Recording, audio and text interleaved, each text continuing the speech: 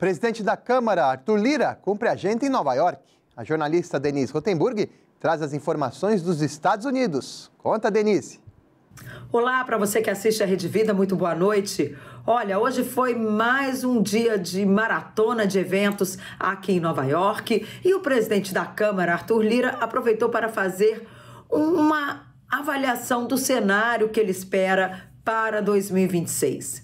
Ele disse que o Tribunal Superior Eleitoral caminha para promover aí avaliar a inelegibilidade do presidente Jair Bolsonaro.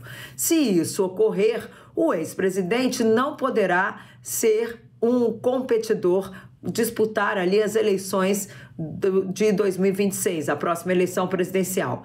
Nesse cenário, diz Arthur Lira, sobem no ranking as apostas para o governador de São Paulo, Tarcísio de Freitas, o governador de Minas Gerais, Romeu Zema, e o governador do Rio de Janeiro, Cláudio Castro.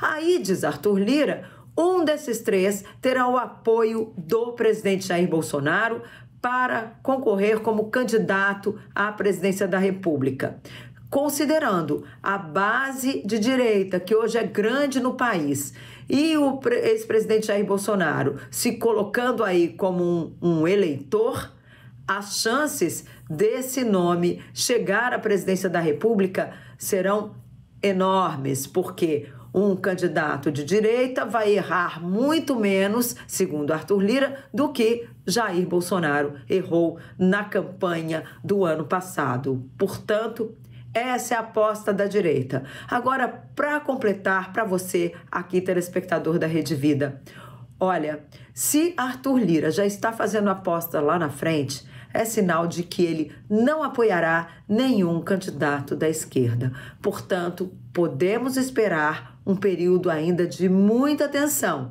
entre o presidente da República, Luiz Inácio Lula da Silva, o PT, com o presidente da Câmara, Arthur Lira ou seja, de tédio não morreremos. Denise Rotenburg, de Nova York, para o Jornal da Vida.